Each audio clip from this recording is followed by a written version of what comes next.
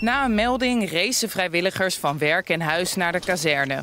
Voor de show zijn het er vandaag maar twee, maar normaal gesproken moeten er acht mensen in de buurt zijn voor een mogelijke uitruk. En dat wordt steeds lastiger. Elke dag is het een, uh, is het een soort gevecht om de roosters uh, dicht te krijgen.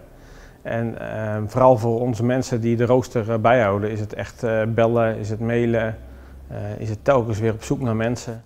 Soms is de situatie zelfs zo nijpend dat een post uit een andere regio moet invallen. Op zich zijn er wel genoeg mensen die bij de brandweer willen, maar ze hebben tegenwoordig minder tijd. Die hebben ook nog een baan, die hebben ook nog kinderen, die hebben ook nog een vereniging, ook nog voetbal.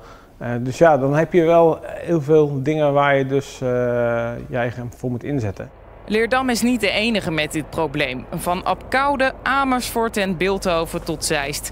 In de hele provincie Utrecht worden vrijwilligers gezocht. De knelpunten in onze paraatheid zie je met name in de dagsituatie.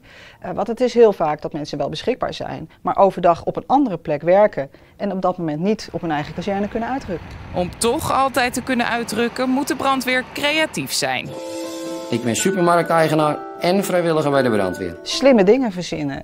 Een vrijwilliger die op de ene post werkt, kan heel goed een bijdrage leveren op een post waar die, waar die s'nachts slaapt of andersom.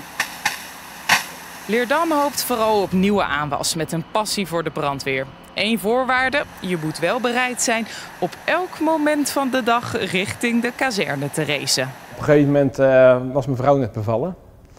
En uh, ja, we waren net lekker aan het eten en net voor het eerst met elkaar. En toen uh, kwam er een melding. Ja, en toen, uh, toen werd ik weggeroepen.